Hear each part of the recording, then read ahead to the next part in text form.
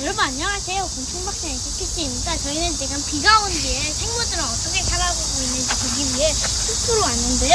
지금 여기 보시는 것처럼 이 위에 사마귀 한 마리가 앉아있는 게 보이시죠? 이 녀석 지금 굉장히 많이 컸습니다. 저희가 7월달에 봤을 때만 해도 완전 일령 일령이었거든요. 그런데 이 녀석은 어, 지금 종령인 것 같습니다. 종령은 성충이 되기 전에 마지막인데요.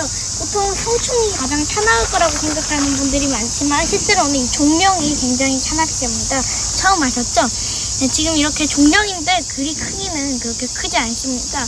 보통 왕사마귀는 이것보다 더 크게 자라는데요. 지금 크기가 작은 걸 보니까 이 녀석은 그냥 사마귀인 것 같습니다.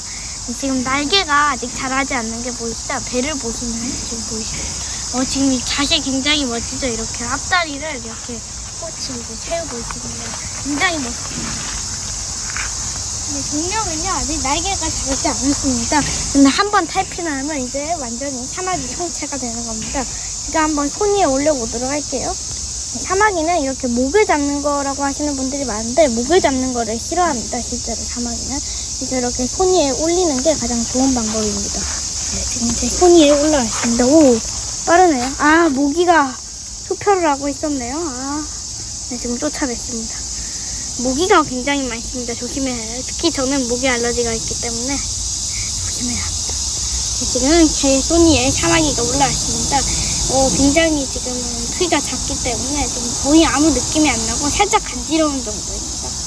네, 외계인처럼 생긴 머리로 저를 쳐다보네요. 어, 다행히 모기가 입질만 한 것 같습니다. 별로 안 가려워요. 네, 지금 이렇게 치면은 점프를 하거든요, 보통. 그런데 점프는 안 하네요. 보통 이렇게 배끝을 치면 점프를 하는데 안 합니다. 아이, 다리 밑에서 막 모기가 막 피를 밟면서 간질간질하는 느낌이 듭니다. 아, 진짜. 이제 다시 놔주도록 하겠습니다. 원래 있던 데 놔주는 게 중요하니까요. 어, 돌아가려고 안 하네요. 보통 이런 곤충들은요, 제가 손 위에 올라가라고 할 때는 안 하는데, 또 내려가라고 할 때는 안 됩니다. 어, 내려갔습니다. 지금 여기 보이시죠?